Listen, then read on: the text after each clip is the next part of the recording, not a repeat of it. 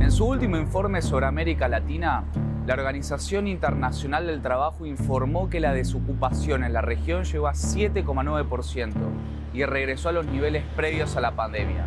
Finalmente, una tendencia positiva. Representa una reducción respecto de la tasa del 8,7% que registraba la región en promedio en el primer trimestre del año 2019, o sea, previo a la pandemia. Al mismo tiempo, la propia OIT advirtió que el panorama puede volver a empeorar con mayor informalidad y pobreza laboral. Según el organismo, este fenómeno es impulsado por el bajo crecimiento económico de la región y la crisis global que frena la recuperación latinoamericana. Bueno, América Latina ha sido una de las regiones más golpeadas por, la crisis, sobre todo a mediados del 2020, fue la región con mayor pérdida de puestos de trabajo, de horas trabajadas. Dentro de todo este contexto, un elemento negativo sobresale del resto, la brecha de género. El último informe de la OIT arrojó que en la región el índice de desocupación de mujeres asciende al 9,6%, mientras que los hombres es de 6,3%. En otras palabras, las mujeres acceden a menos empleos que los hombres. ¿Cuáles son los motivos? Lo que observamos a nivel regional es que las mujeres enfrentan mayores restricciones para entrar a la fuerza de trabajo y cuando ingresan a la fuerza de trabajo tienen mayores restricciones para encontrar una, una ocupación a mediados más o menos del siglo pasado eh, hay un aluvión de mujeres que empiezan a insertarse en el mercado laboral y en esa participación hay un montón de adaptación que no, que no llega a, concretarse para, para, lograr condiciones de igualdad. Principalmente em, el hecho de que este aumento en la participación no se da en consonancia con una redistribución de las, de las tareas de cuidados. Durante la pandemia la inequidad laboral por cuestiones de género se profundizó y en el mundo más de 2.400 millones de mujeres en edad de trabajar dejaron de tener las mismas oportunidades económicas que los hombres, según estadísticas publicadas por el Banco Mundial. La pandemia eh, recrudeció todas las desigualdades que eh, ya se venían dando. Se dice también de que se perdieron muchos años de avances eh, en materia de igualdad de género.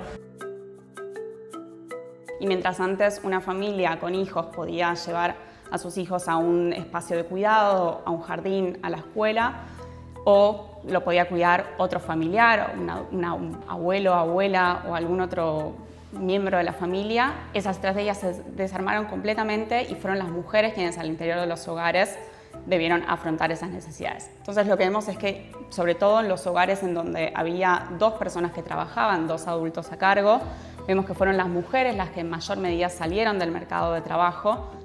Sobre todo pensemos que los sectores más golpeados por la pandemia, que es el turismo y el servicio doméstico, están feminizados, emplean muchas mujeres. Mayoría en las universidades, pero minoría en el empleo. La Organización del Trabajo identificó que las mujeres jóvenes son las que más dificultades tienen para acceder a un empleo e incluso duplican la tasa comparada con los hombres adultos. Lo que vemos es que las mujeres son eh, mayoría en la universidad, por ejemplo, pero son minoría en el mercado de trabajo. Entonces, de alguna forma, su trayectoria educativa no se refleja después de igual manera en su trayectoria laboral. Pero si de falencias hablamos, al desempleo hay que sumarle la informalidad, otro de los males que afecta más a las mujeres que a los hombres. Según los estudios de la Organización Internacional del Trabajo, para fin del 2021, uno de cada dos trabajadores en América Latina tenía un empleo informal y de esa cifra la mayoría eran mujeres. Informalidad laboral sigue siendo una de las características más importantes de los mercados de trabajo en toda la región. En Argentina y en América Latina lo que tiene la informalidad es que es un fenómeno estructural. Eh, esto quiere decir que responde a una matriz productiva que es heterogénea y que hace que una gran parte de la población no pueda acceder a empleos de calidad o a la protección social.